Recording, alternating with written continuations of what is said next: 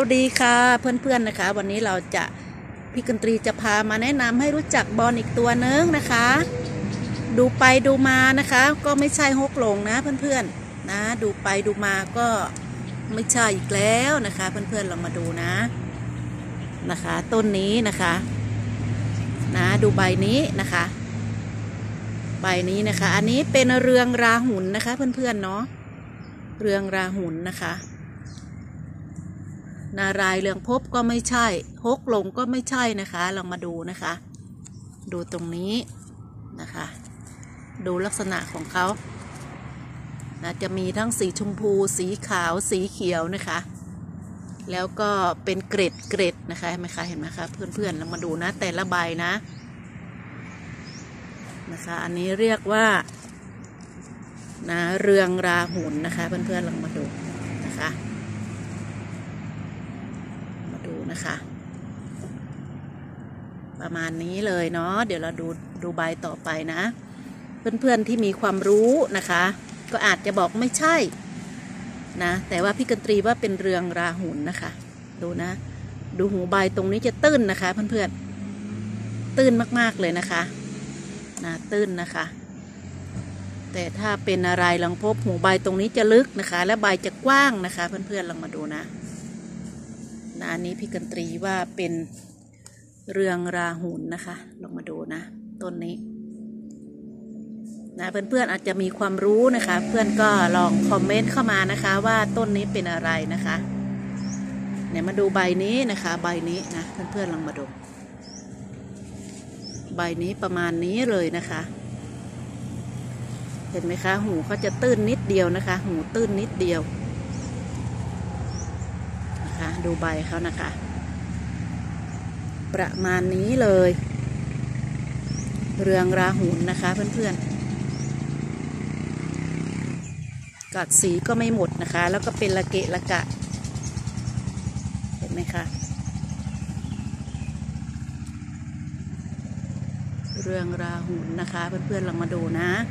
เผื่อเพื่อนๆมีความรู้นะคะ เพื่อนๆก็ บอกว่าเป็นอะไรนะคะ เรามาแลกเปลี่ยนความคิดเห็นกันเนาะซึ่งฮกหลงเนี่ยตระกูลฮกหลงมีทั้ง 12 ตับนะคะ 12 ชนิดด้วยกันนะคะนะบางตัวก็ก็แยกกันแทบไม่ออกว่าเป็นอะไรนะคะนะเดี๋ยวให้ดูใบนี้นะคะ ใบนี้อีกใบเนะเดี๋ยวมาดูใบนี้นี่นะคะเพื่อนๆลองมาดูนะ ต้นนี้นะคะ ใบนี้นะชัดเจนเลยนะคะ เรืองราหุนนะคะ สังเกตที่ใบนะเพื่อนๆนะคะเนาะสังเกตที่ใบพี่กันตรีจะสังเกตที่ใบก่อนลำดับแรกนะคะ แล้วเรามาดูก้านใบนะคะ ก้านใบเขาข้างล่างก็จะเป็นออกสีแบบน้ำตาลนะเพื่อนๆเนาะสีน้ำตาลอมเขียวนะคะลองมาดูนะคะ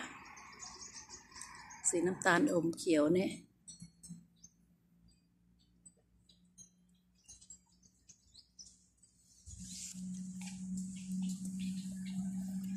ก็ไม่ใช่ฮกหลงนะคะ เพื่อนๆนะคะ แล้วก็ไม่ใช่นารายเรืองภพเนาะต้นนี้เนาะ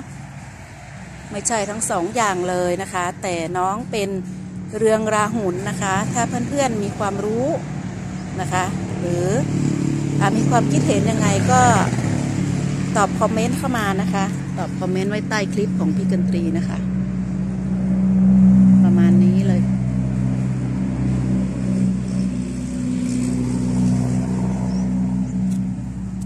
ใบ เขาจะประมาณนี้นะคะ ให้เห็นกันชัดๆนะคะ ใบนี้นะ